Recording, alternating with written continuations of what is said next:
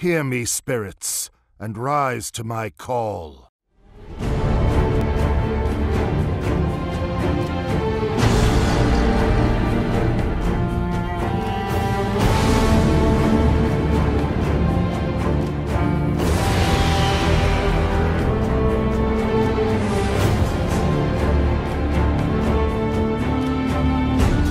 Supreme Focus.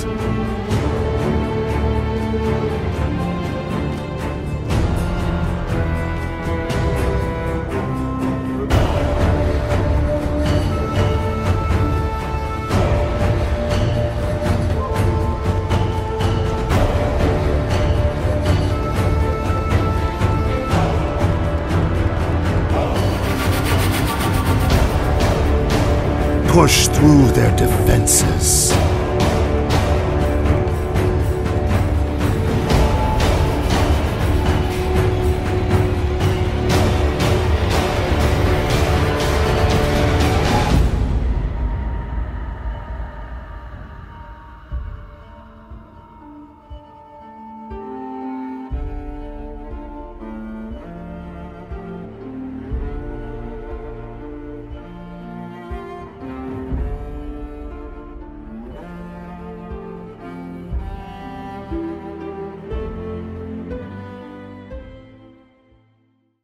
Yo guys, what's going on? It's Willie P here. Today I'm excited to bring you my first video for this YouTube channel, which is my Season 8 Udyr Guide. Yes, yes, I know it's been in the works for a minute. I've told you a long time ago it was coming out, but uh, super, super excited to get this out here for you guys. So hopefully you can learn a thing or two about the God here.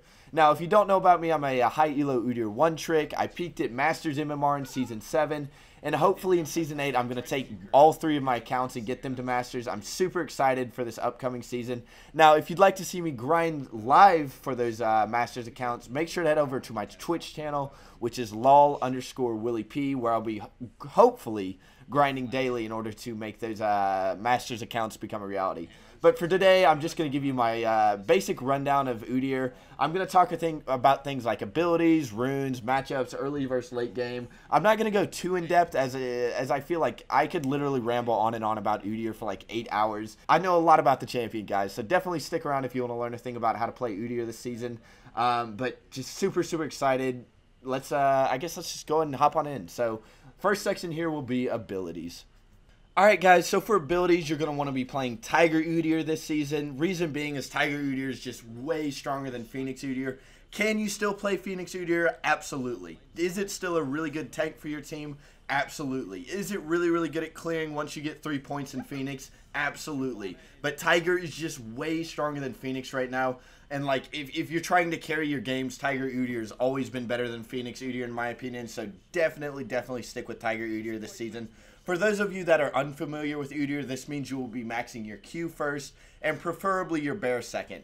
I see a lot of people max your Turtle second, and let's be honest, I, I, I just think Turtle is the weakest ability right now in Udyr. It just doesn't do a whole lot. Ever since they removed Lifesteal from it, it's just kind of meh. Like, it just doesn't do anything for you besides give you a really low shield. But um, like I said, you'll be maxing Bear second. This will give you a lot of movement speed, allowing you to catch up and kill those squishy targets that generally have range on you. So you're going to have to avoid kiting. Um, but abilities are pretty straightforward this season. Max Q first with E second. Alright guys, so since we got abilities out of the way, let's go ahead and talk about runes real fast. Now, before we go any further, I want to talk about Udyr as a champion. The reason Udyr, basically what gives Udyr his identity, is the fact that he can be played many, many different ways. You can play him full lethality, you can play him with uh, full tank with aftershock, things like this.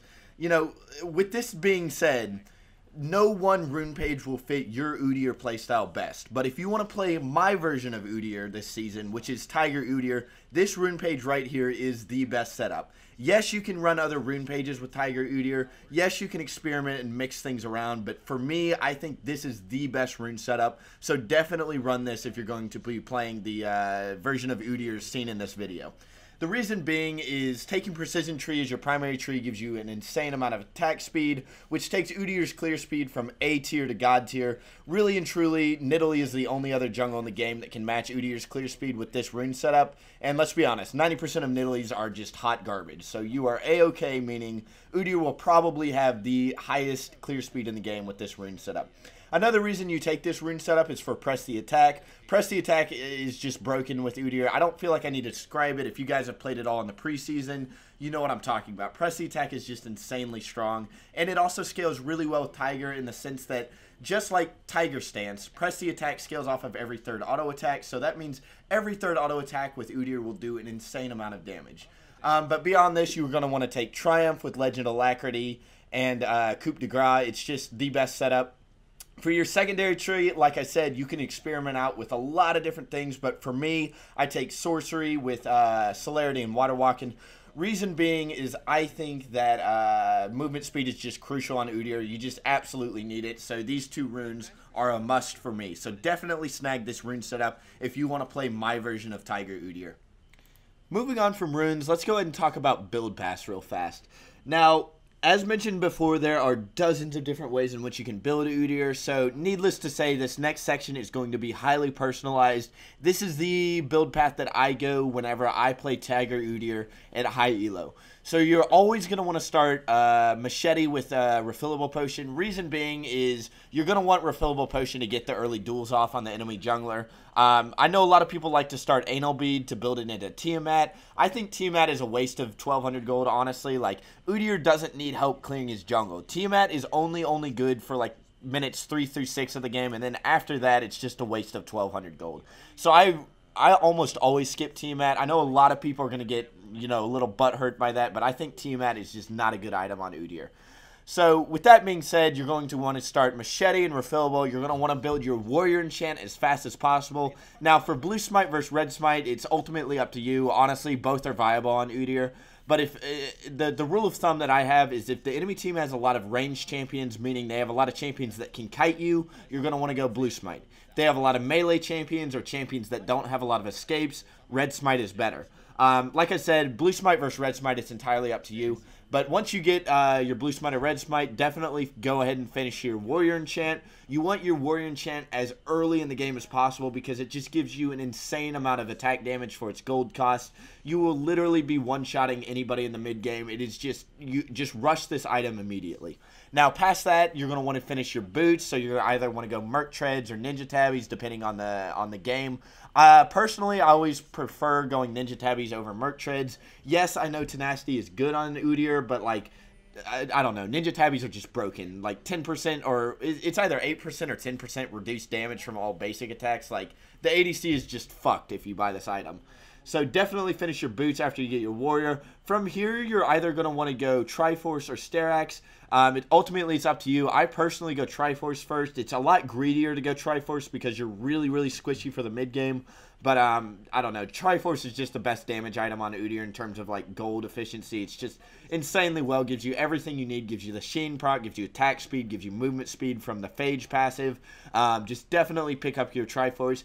After this, I generally go a tank item. This either means MR or armor depending on the enemy team.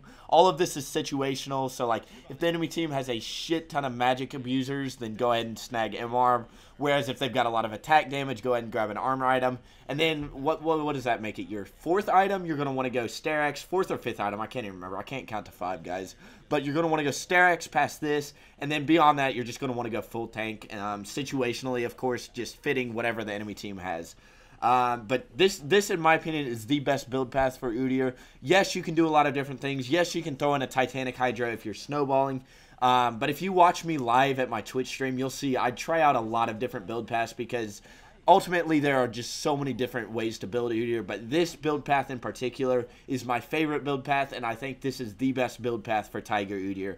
Now that we got build pass out of the way, let's go ahead and talk about Udyr's playstyle. Now this will be the last part of the video here because I feel like as a whole, Udyr just can be played so many different ways. So I'm going to offer you my input as someone who's climbed a pretty high elo with Udyr, how you're supposed to play him. Now, the biggest comparison I can give to you is think of Draven. If Draven were a jungler, it would be Udyr. And what I mean by that is if you pick Udyr and you go Tiger Udyr, your job is to bully the enemy jungler. You are supposed to invade early on. You are supposed to uh, constantly put pressure on the enemy jungle, prevent him from farming, get deep wards, keep track of the enemy jungler, and basically shut the enemy jungler down. Um, Udyr's level 1 through 5 is one of the strongest champions in the game. It is extremely, extremely hard for just about every jungler in the game to deal with Udyr. Um, I would say the only junglers you do not want to invade would be Rek'Sai, Nidalee, and a good Kindred. Everybody else is free game, meaning you should have no problem bullying everybody, every other jungler in the game, levels 1 through 5. Also, Warwick. Fuck Warwick. Warwick is really, really hard, and unless you know the matchup really well, you will not be able to beat him in a 1v1. But everybody else is free game, so always, always, you don't necessarily have to invade, but just try and track the enemy jungler as hard as you can. Try and deny CS, try and deny jungle camps, and just counter gank it counter gank or gank very, very aggressively early on. Udyr, if, if, if the enemy laners overextend, then basically it's a, it's a free kill. Udyr is extremely, extremely good if you get a flank off, just because you do a ridiculous amount of damage in those early levels. Now, as you transition into the late game, this is where playing Udyr gets really hard. And honestly, it's the toughest part about playing Udyr. Just like Draven, playing Udyr in the late game is extremely, extremely difficult. Reason being is Udyr does just brings nothing to team fights. All he has is his one second stun, and at that point in the game, a one second stun that requires Udyr to be on top of the target is just useless. Um, the only thing it's good for is peeling ADCs, which leads me into basically the two ways you can play Udyr in the late game. The first way is the team fight way. So what I mean by this is you are choosing intentionally to group with your team. That you a lot of the times if you're behind, you have to do this to prevent the enemy team from diving, things like this. So if you're going to play Udyr the team fight with a team fight focus, you have to peel your ADC. Udyr cannot engage on the enemy team, but he is extremely, extremely good at peeling that your uh, ADC. Just because of that one second stun can make a world of difference in keeping your ADC alive. He's also really good against most frontliners, as most frontliners are melee, and Udyr is extremely good at dueling melee champions. Now, that's the first big way you can play Udyr in the late game. The other big way is you can play the Trick2G playstyle, which is just split push over and over and just try and backdoor as often as possible. Um, there's a reason why Trick2G split pushes at high elo. Yes, I know it's entertaining, but the reason you split push with Udyr at high elo is because he is useless in team fights. By creating pressure on the map, you can you can do more for your team than if you were just in a team fight scenario. So that really is the only two those are the only two ways to play Udyr in my opinion late game is either peel ADC or just split push. Now, I think that just about wraps up everything I want to talk about Udyr. This is a really, I think this is a pretty solid guide for Season 8 on how to play him. Play Tiger Udyr, bully the enemy jungle early, take my rune setup, take my build path. I think these are just the best runes and builds for Udyr right now. Um, but beyond that, I just I, feel like this just is about all I want to say. So as always, like, comment, and subscribe. I'm not kidding you. I literally had to teach myself how to use Photoshop, how to edit just to make this video. I probably had to delete this video like three times just because I'm an I'm an idiot, guys. Like, there's so many things I had to learn in order to put this video out. But um, like, comment, and subscribe really does help. Really does mean a lot. And um, yeah, so Willie's out, and I'll catch you on the Rift, boys. God, that's cheesy. Sorry, but uh, catch y'all later.